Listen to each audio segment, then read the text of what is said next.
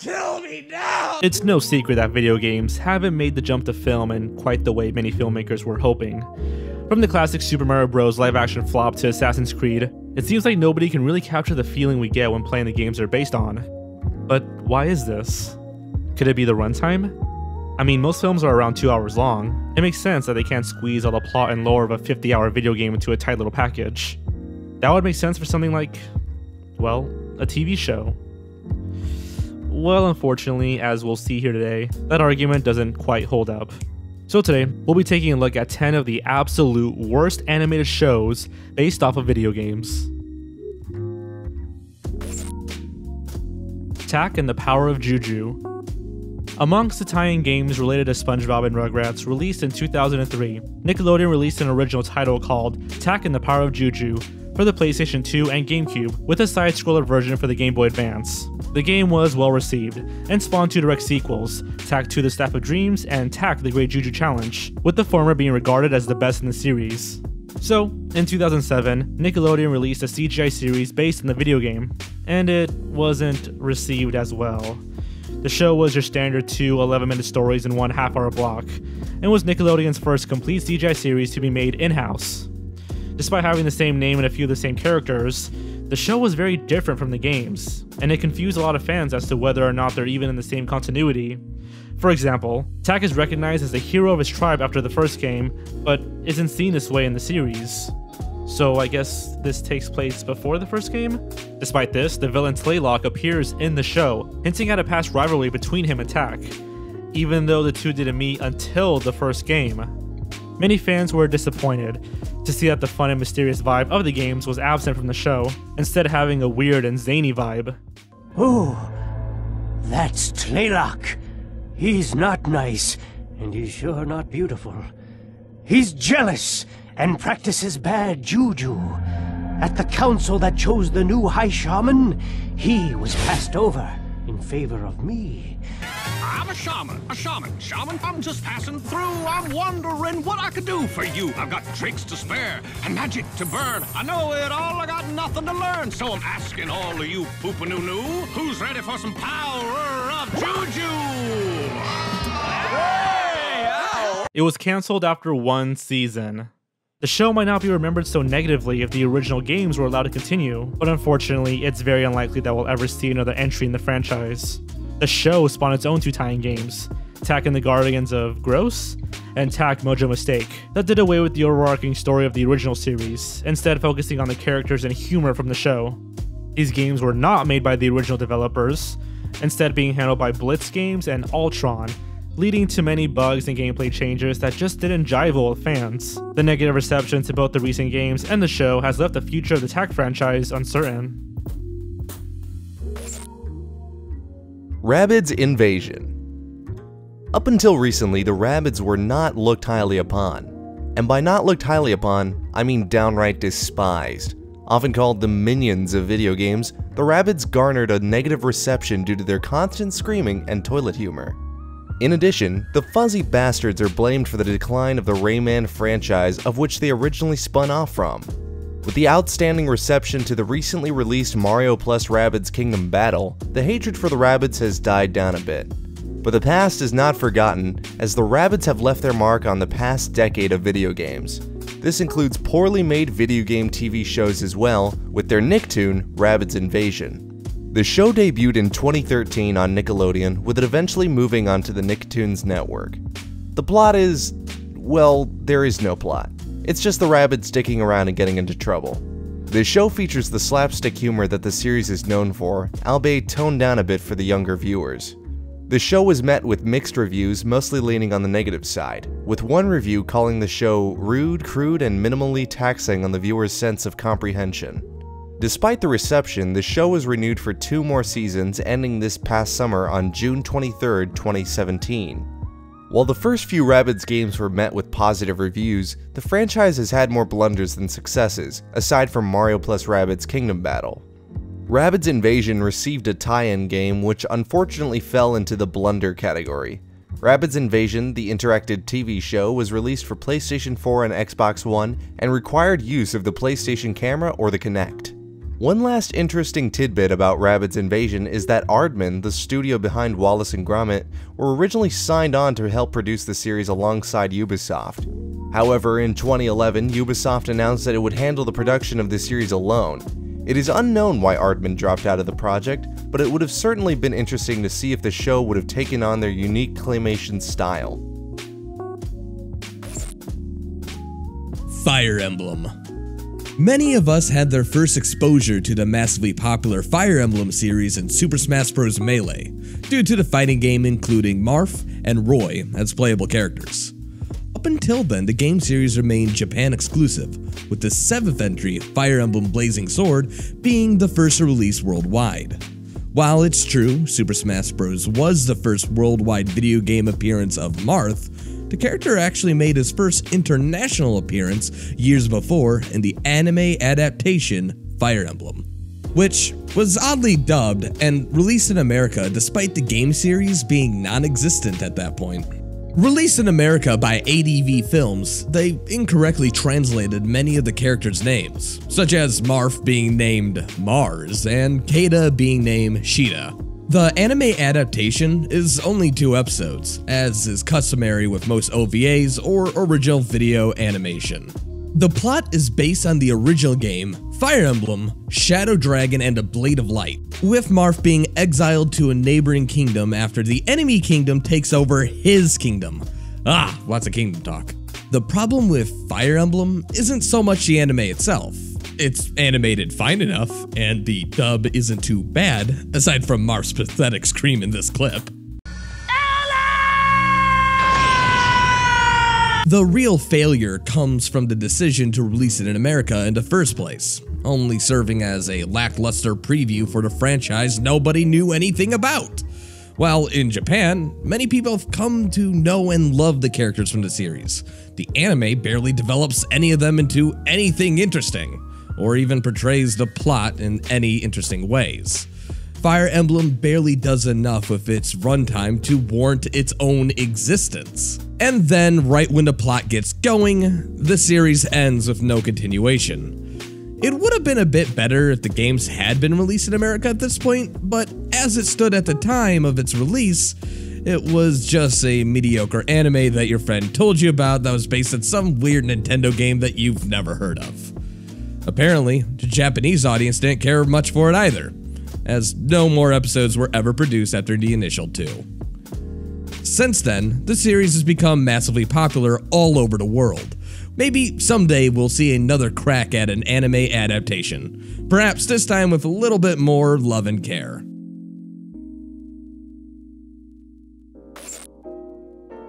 Donkey Kong Country Pretty much anyone who has been on the internet a few times can tell you about the Super Mario Bros. Super Show or the Legend of Zelda cartoon. But when someone brings up that weird CGI Donkey Kong cartoon, most people scratch their heads wondering if that really happened or not. Well, it's real. Airing on Fox Family from 1998 to 2000, Donkey Kong Country follows DK and Diddy Kong as they try to protect something called the Crystal Coconut from the evil King K. Rool. What's the Crystal Coconut, you ask? It's the show's MacGuffin. It can pretty much do whatever the characters needed to do at any given moment. It's essentially God incarnate in the form of a coconut. And it predicts that Donkey Kong will be the next ruler of Kongo Bongo Island, so it's up to Donkey Kong to protect it. Except he's kind of a fucking idiot, and screws it up in every single episode. Despite the Crystal Coconut having the power to grant wishes, it's pretty much never used. Not even by King K. Rool when he manages to get his hands on it. Maybe everyone on Kongo Bongo Island is just really stupid.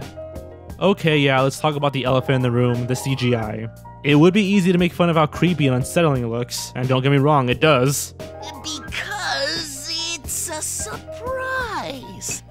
But for the time the show came out, it was actually a huge advancement for CGI in television. After all, this was the first show to be entirely animated using motion capture technology, and that's pretty damn impressive.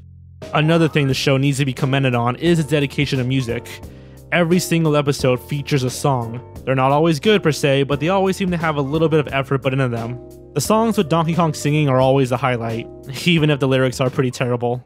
I'd shower you with coconut cream pies. A love like grow on trees. Love is like a summer breeze. Can't you see we're meant to be? Our love is stronger than a golden banana. Richard Yearwood, the voice of DK, absolutely kills it in these performances, and gives way more effort than a mediocre Donkey Kong cartoon deserves. The theme song is also pretty catchy, with a nice jungle beat and blurting out Donkey Kong's catchphrase, Banana Slamma.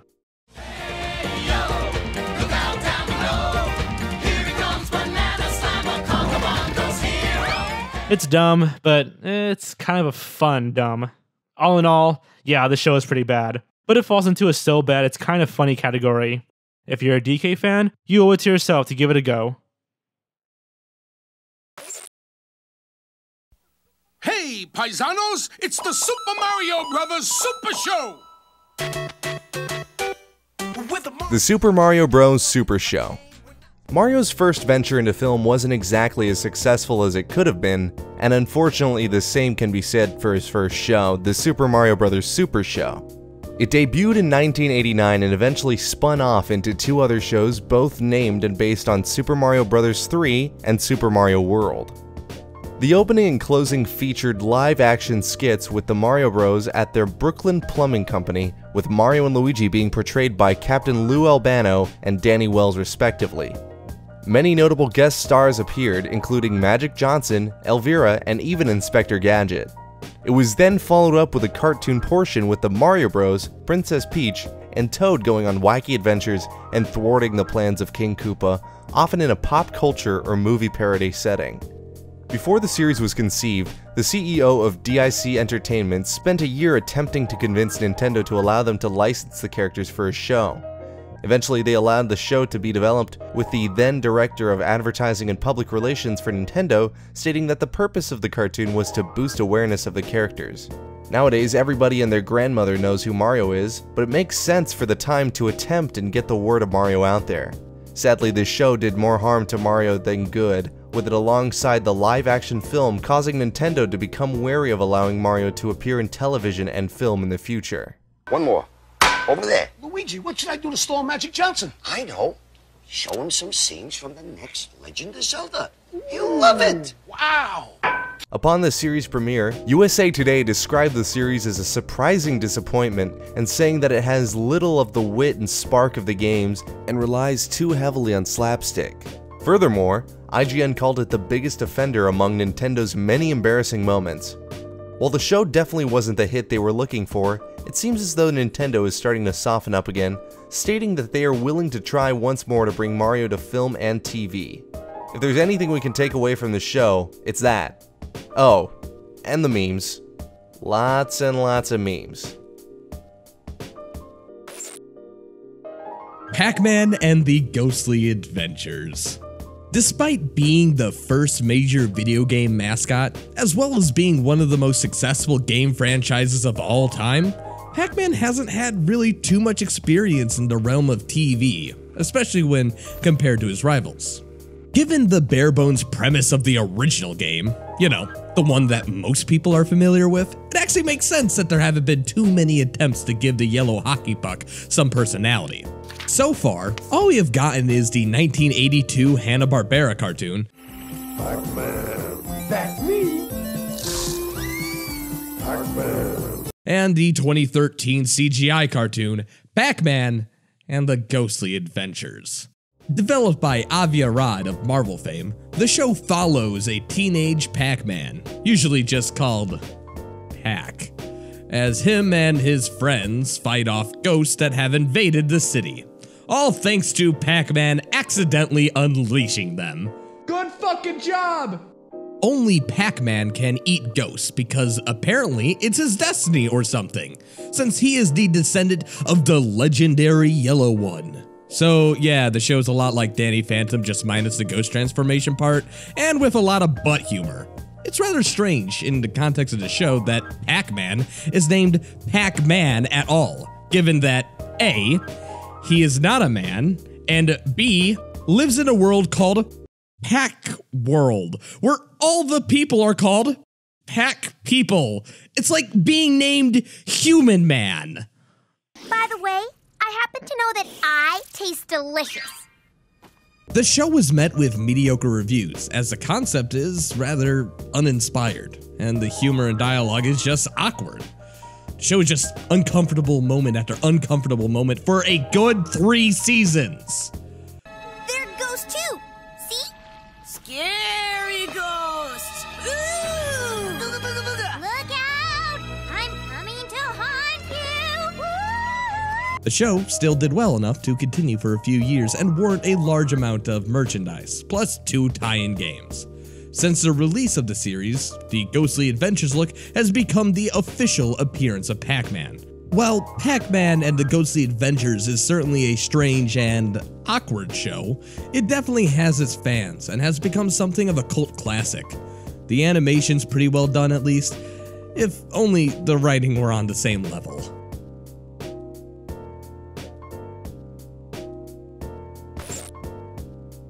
Bubsy. What could possibly go wrong? Yeah, yeah, yeah, a lot went wrong. For anybody who doesn't know Bubsy, consider yourself lucky. I'm gonna tell you anyways. Bubsy the Bobcat was developer Accolade's attempt at creating their own mascot, akin to someone like Sonic the Hedgehog. The 90s were riddled with failed mascot attempts, from Zero the Kamikaze Squirrel to Gex the Gecko. However, Bubsy remains the most well known due to his meme status. There have been four games in the Bubsy series so far, with the absolute train wreck known as Bubsy 3D effectively killing the franchise in 1996. If things had gone differently though, we could have been cursed with a lot more Bubsy than we currently have. In 1993, a pilot episode for a potential Bubsy animated series was made by Calico Creations. A plethora of well-known voice actors lend their voices to the pilot, with Rob Paulsen as Bubsy himself, and various other characters being voiced by Tress MacNeille and Jim Cummings. The pilot begins with Bubsy doing a bunch of cool and radical random stuff, like brushing his teeth with a floor waxer, all while spurting out his iconic catchphrase, What could possibly go wrong? We then meet his armadillo sidekick, who appears to be held captive by Bubsy, evidenced by his absolute terror by the titular Bobcat. It's me, the Prince of Personality, Bubsy! Bubsy! Oh, oh, worse than a truck. Oh, come on, you know I'm your hero. You're not. Well, of course I am. I'm your hero, and you're my sidekick. The pilot is 22 minutes long of Bubsy being an unlikable asshole and hammering his catchphrase into your head at every opportunity. It's pretty damn obvious why this pilot was never picked up, as it struggles to find content for even one episode, instead just throwing you so much random shit while delivering very little plot. Thankfully, the show was never picked up, and the game series is now dead in water. It seems Bubsy is gone for good. Except not, because it appears Accolade caught on to all the memes at Bubsy's expense, and thought it would be a good idea to ironically bring him back in Bubsy the Woolies Strike Back. The announcement was not well received by critics and gamers alike.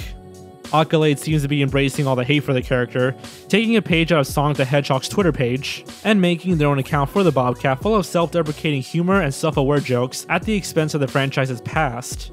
Looks like we'll be hearing what could possibly go wrong for just a little longer. Sonic Underground. Sonic the Hedgehog has gone through quite a few animated adaptations, from the pretty lackluster The Adventures of Sonic the Hedgehog, to the average Sonic X, to the downright awesome Sonic Sat AM, there is something for everyone. However, there's a show in Sonic history that is for nobody. Nobody except masochists. Sonic Underground is considered to be the worst Sonic cartoon by many, and for good reason. Instead of characters like Tails and Sally Acorn appearing in the series, we get Sonic's lost siblings, Sonia and Manic. The voice of Sonic from the previously mentioned The Adventures of Sonic the Hedgehog returns to play to Blue Blur himself. In a completely normal casting choice, he additionally plays both Sonia and Manic as well. It sounds, well, I'll let you be the judge of that. So what did you do in the city, Manic? I was uh, in the family business. We uh move things. Like import-export? No, like a thief. A thief? Oh. How'd you know? Resistance. We gotta know about everybody. Ah! Kill me now! Why did I watch this shit? The plot of the show has very little to do with the Sonic series, instead, creating its own line of continuity where Sonic and his siblings are the children of the long lost Queen of Mobius. She separated and hid the children when they were babies, after Dr. Robotnik took over the kingdom, leaving behind a prophecy that A Prophecy. why does prophecies keep showing up here and why am I still recording? Leaving behind a prophecy that they would grow up and overthrow Robotnik through the power of family. Oh, yeah, and by playing kick ass rock music. Yeah, the siblings have their own magical medallion that turns into an instrument. Sonic gets an electric guitar, Sonia gets a keyboard, and Manic gets a drum set.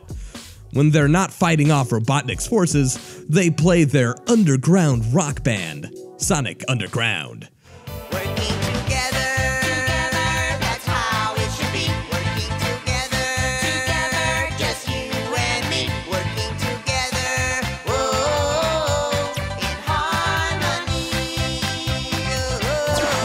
The show was not very popular and was canceled after a single season. What a shock. Sonic has their fair share of blunders in history, from the weird, game breaking bestiality of Sonic 06 to the somehow even more broken Sonic Boom. It seems like the Hedgehog just can't catch a break. It's easy to feel bad for the guy, but remember, he did this to himself. This is the cartoon where Sonic's catchphrases were way past cool and it's juice and jam time. This is righteous punishment. Mortal Kombat Defenders of the Realm. When you think of Mortal Kombat, what comes to mind? Probably over the top violence and gore, right? How about one liners and kids' shows? No? Well, that's what we're talking about here. Mortal Kombat Defenders of the Realm sought to take one of the most violent and bloody games out there about beheading your opponents and turning it into a Saturday morning cartoon. To quote Bubsy, what could possibly go wrong? well, for starters, nobody kills each other anymore. You know, one of the biggest selling points of the game? Yeah, with it being a kid's show, they weren't allowed to show any of the blood and gore, so instead they just punch each other and then everyone lives until the next episode, where they do it all again. Not only does the lack of violence actively work against it, but other kids' cartoons tropes weigh it down as well, such as cute animal companions, every character having one personality trait, and one-liner after one-liner after one-liner. Interestingly enough, the show doesn't seem to exist on its own separate continuity plane. It actually serves as a sequel of sorts to the original live-action movie. Unfortunately, the Mortal Kombat films are pretty awful too, so combining them with this cartoon doesn't really do much for it. Needless to say, the show wasn't well received and lasted only 13 episodes. Since then, it's been brought up in many lists, citing it as one of the worst cartoons based on a video game ever made, and is considered one of the worst failures produced by the Mortal Kombat series. There were a few VHS releases in America, but other than that, the series has never received any DVD or Blu-ray release. Most of the episodes can be found on YouTube though, so if Sub-Zero and Sonya Blade doing public service announcements sounds good to you, then go nuts.